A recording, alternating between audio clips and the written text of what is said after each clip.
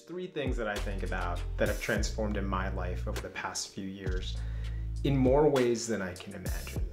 And those are my approach towards surfing, philosophy around photography, and my focus on self-development.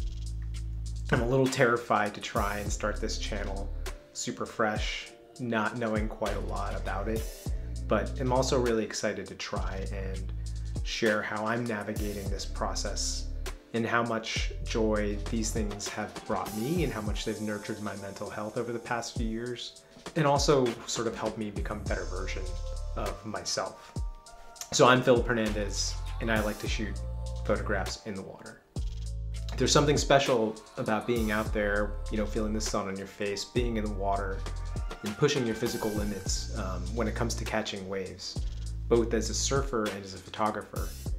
So bringing my passion for photography into the water has helped me discover a whole new dimension to the sport and artistry of surfing. Whether you're a surfer, a bodyboarder, free diver, fisherman, you just like getting your feet wet, you know, I want to be able to share that same connection that we have in the water with others. This channel is about more than just my efforts as a creator.